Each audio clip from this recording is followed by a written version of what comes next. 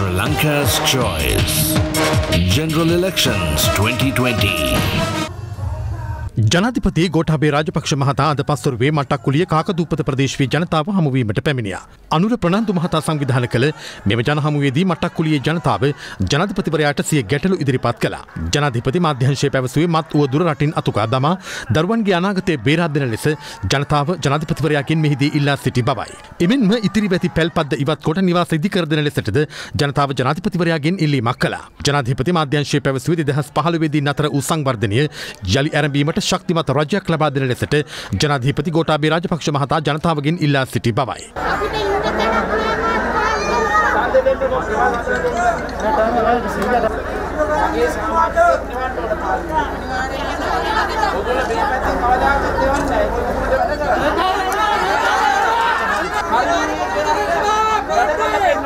ප්‍රේමනත් සි දොළවත්ත මහතා කොළඹ හයිඩ් පිටිය සංවිධාන කර තිබූ ජනහමුවටත් ජනාධිපතිවරයා එක්වුණා.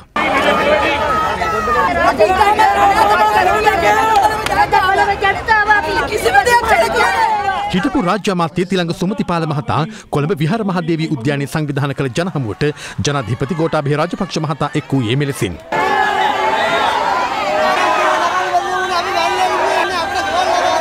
හිටපු අමාත්‍යයේ සුසිල් ප්‍රේමජයන්ත් මහතා නාරාහෙන් පිට දාබරේ මාවතේ සංවිධාන කළ ජනහමුවටත් ජනාධිපතිවරයා සහභාගී වුණා.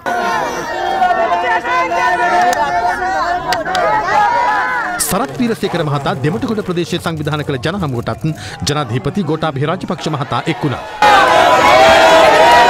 පසුව ජනාධිපතිවරයා පැමිණියේ අජිත් සුබසිංහ මහතා සංවිධාන කළ කොළුන්නාව ජනහමුවටයි.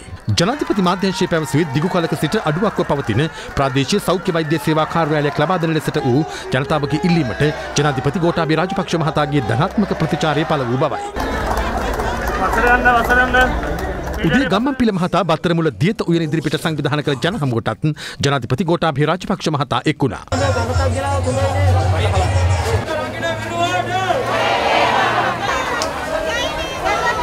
අනතුරුව ජනාධිපතිවරයා පැමිණියේ හිටපු අමාත්‍ය විමල් වීරවංශ මහතා බුද්ධදාස ක්‍රීඩාංගණයේ සංවිධාන කර තිබූ ජනහමුවටයි.